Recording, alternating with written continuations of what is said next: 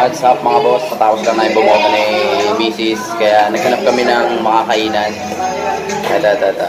Ayan. Naghanap kami ng makakainan dito sa Maysan. Ako kasi bumoto ako dun sa amin sa Genti. Tapos si Mrs. naman, ay sa ano pala ako bumoto? Sa Manok. Sa Manok. Sa Serrano. Sa Marolas. Si Mrs. naman dito sa may Maysan. So, tanghali na eh. Ah, 12 na kaya naghanap kami ng mga kainan.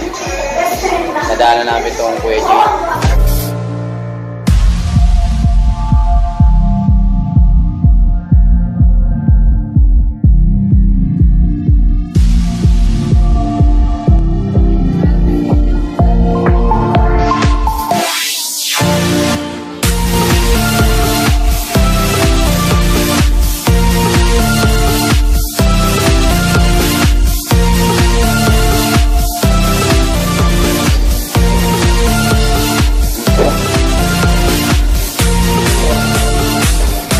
Baka magkamali kayo mga boss ha.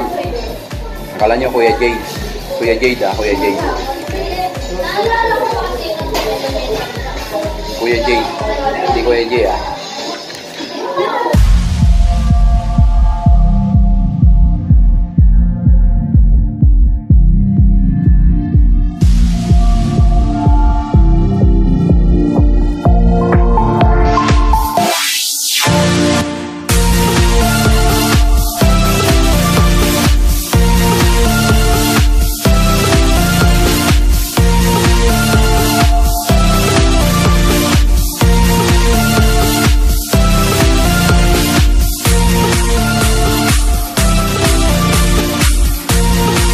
Na mga boss, ano, solve yung kain natin dito sa Kuya Jade.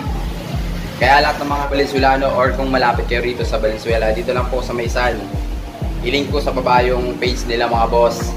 Pasyalan nyo to, masarap kumain dito mga boss. Mura lang, pang mayaman, pero murang-mura lang mga boss.